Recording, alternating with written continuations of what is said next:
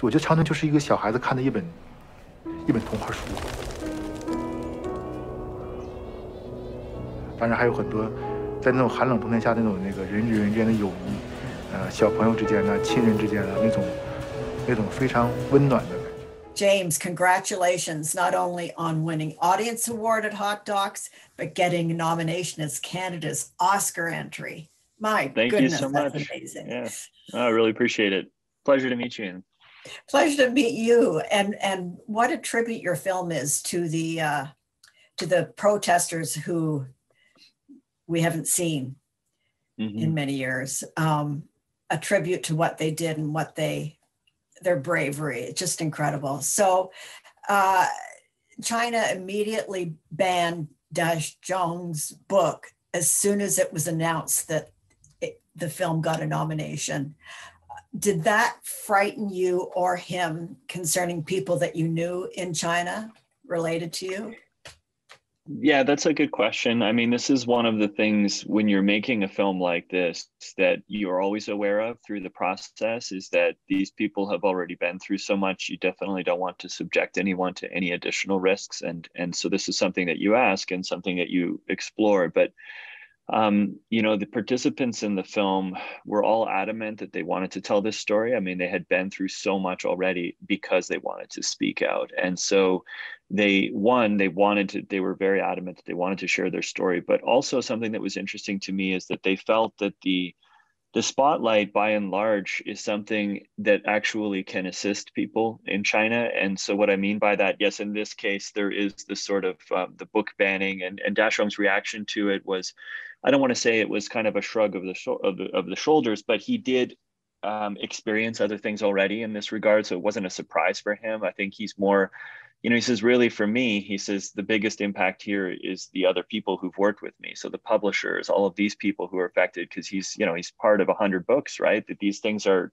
they're teaching materials in universities on, on how to, on his illustration techniques and such. He's illustrated for number one Kung Fu novelist in China. Like he's, he's been, he's you know sort of widely um, involved in a lot of really um, you know important work there. So he's less concerned about himself at this point because of what he's already experienced and he's more just saying hey who they're really hurting here are other people around me.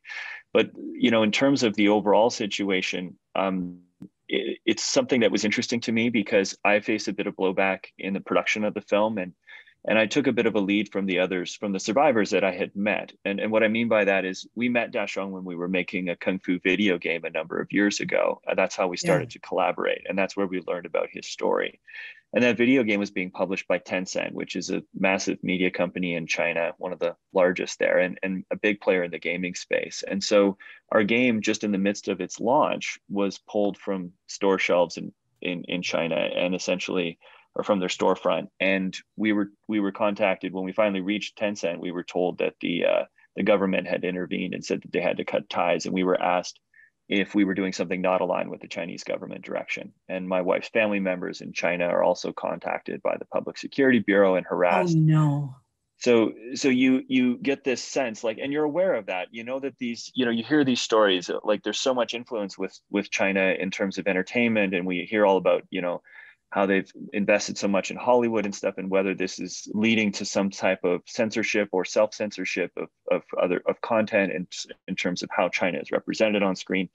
And so people warn you like, hey, you know, you shouldn't really touch that. But at the same time, you know, we built a relationship by collaborating with Daxiong, and we we understood what he had gone through personally to be able to tell his story. And you see the survivors here that have come out, and they've gone through so much. In some cases, without giving away what's in the film, like there's people there who are no longer with us, who are part of this event, right? And you see what people have sacrificed in order to be able to speak up in the face of injustice. And then you look at your own situation and you say, yes, this might be inconvenient from that perspective. But if we don't speak up, then where are we at? And and how are we really using the freedoms and the and all of that that we have, right? If we're essentially just um, not touching certain sensitive subjects Oh, no. because we No, we no, don't want yeah. to upset. So so that was part of it. And then you know I would meet you'd meet survivors like um, there was an individual i interviewed for another film i was working on at the same time a sort of related project um, and who had been, you know, tortured in prison, and, and and all of a sudden his conditions improved, and he didn't know why, and he learned that, um, you know, his name had been mentioned in a in a newspaper report in Australia, and he had appeared in a human rights. Uh,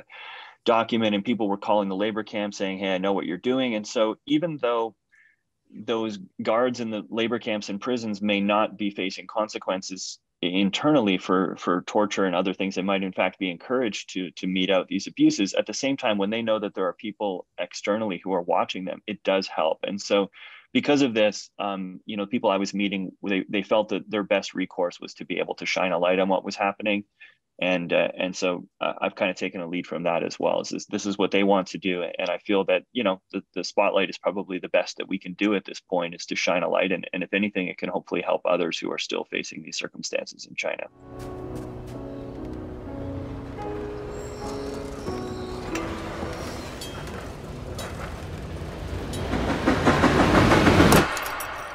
我当时在在那个插播之后，他们跟着我。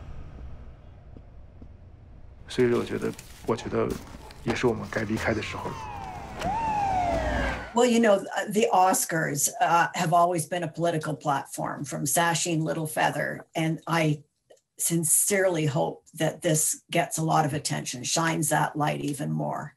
Um, it's just a situation that can't be borne in this in this reality.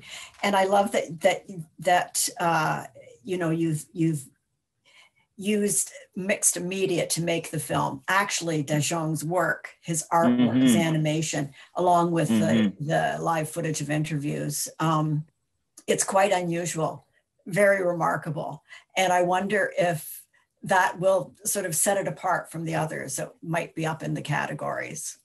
Well, you know, thank you for that. I mean, I've seen a number of documentaries that I really enjoyed over the years that used animation. It has been used at times. I, I loved Waltz with Bashir a number of years ago. I saw Tower and got a brief chance to meet the filmmakers when they were at, at and Flee. Flee I loved, but Flee yeah. I saw after I had finished my work on this film because it's more recent. I was kind of you know nose to the grindstone finishing this thing, and people were like, "You got to check this out. It's playing at festivals," and I eventually saw it, but and it's a beautiful film. And so I've seen the animation I've seen animation used in different styles in documentary, and I was confident that it could be used. But there was something unique here that presented an opportunity for me. I, I feel like when animation is used, it's often, um, and this isn't criticism, but it's often this sort of like artistic decision by the invisible hand of the director. You know, it's like you see it, um, but you don't know how it's created. You don't know what interpretation has gone into it. And I think um, this op- this story presented a unique opportunity in the sense that we had this remarkably talented artist who was communicating through his art. And you could see how his art was colored with his own feelings of longing and nostalgia for having missed his home uh, you know and been separated from it.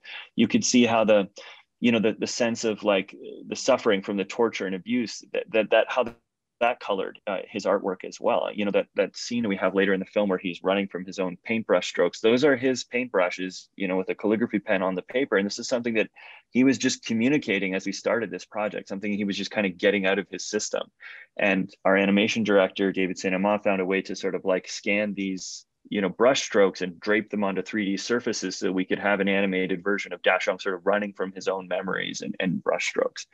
And i just felt that that presented such a unique opportunity the ability to look at not just to kind of pull the curtain back so that there's perhaps even more um, objectivity in the artistic process. And like you can see how um, art plays a role in facing like traumatic events and how art can help us to come to a new understanding and hopefully gain some type of catharsis through that process. And I just felt that that's a new dimension that I haven't seen in documentary, and I really wanted to try to explore that. Yeah. I have to admit that it did present really unique challenges because, you know, typically with a documentary, it's a very different process from animation. It's, you know, a typical documentary, you go out, you shoot 100 hours of footage, you sit in the editing suite and you start carving it up, and the story sort of emerges organically from that process. And within animation, what you're going to do is you're going to finish everything. You may have like a radio edit, essentially just the audio track of the film, um, you know, uh, it, it ready to go. Before, and you have, you know, storyboard for every scene and for every shot, actually, right? And and you have that all planned out because the animation is very time consuming and expensive. Yeah.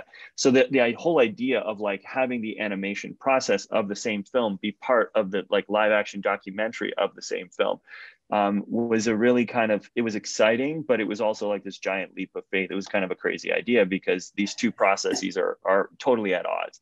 Um, and you know, it was nerve wracking. You're kind of like just hoping that it's all going to come together at some point because you're animating things and you're not sure how they're going to fit with other things that you're you're still sort of figuring out and that was necessary to let that process play out um, and, and to have it be authentic, to have Daxiong's journey and, and his journey through his artwork be authentic and, and be able to share that with people. It was necessary to do it that way, but at the same time, uh, you know, it was nerve wracking. And of course, wow. in the end, hopefully, hopefully it was all worth it. 我们唯一的诉求就是要通过一种方式讲述一种真相。任其迫害，大家谁也不说话。他杀人放火了。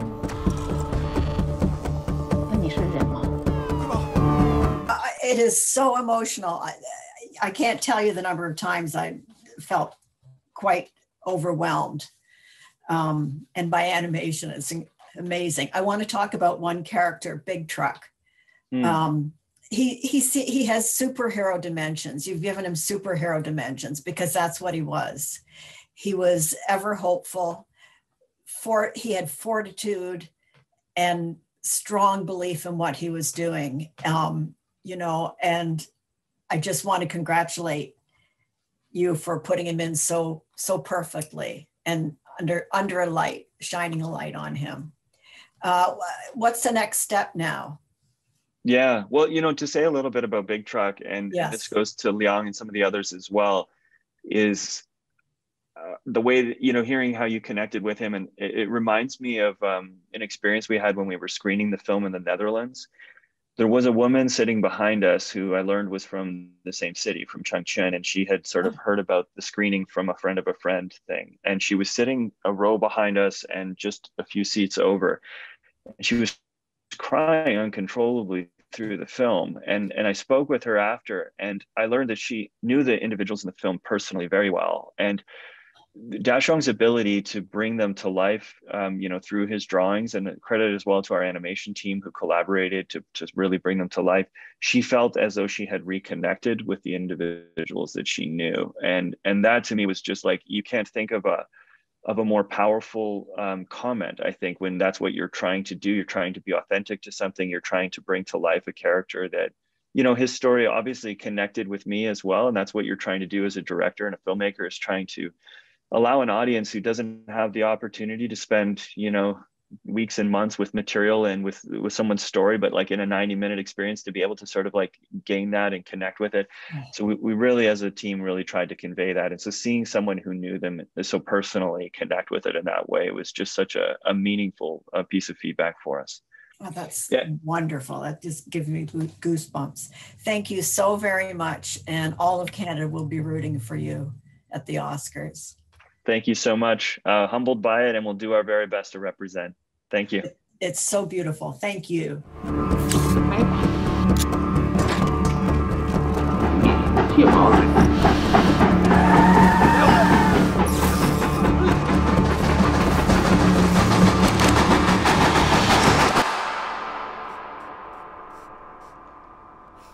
当我画的时候呢，其实 我作为一个专业的从业人员的时候，我并不难。但是当我在体会当时那种带我带回那种回忆的时候呢，我有一种很沉重的被压抑的感觉。